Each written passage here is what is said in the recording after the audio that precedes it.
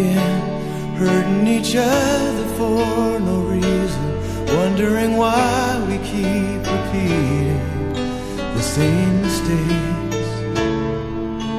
Seems the more we give, the more we're disillusioned. Baby, what is it we're doing? Are we so scared?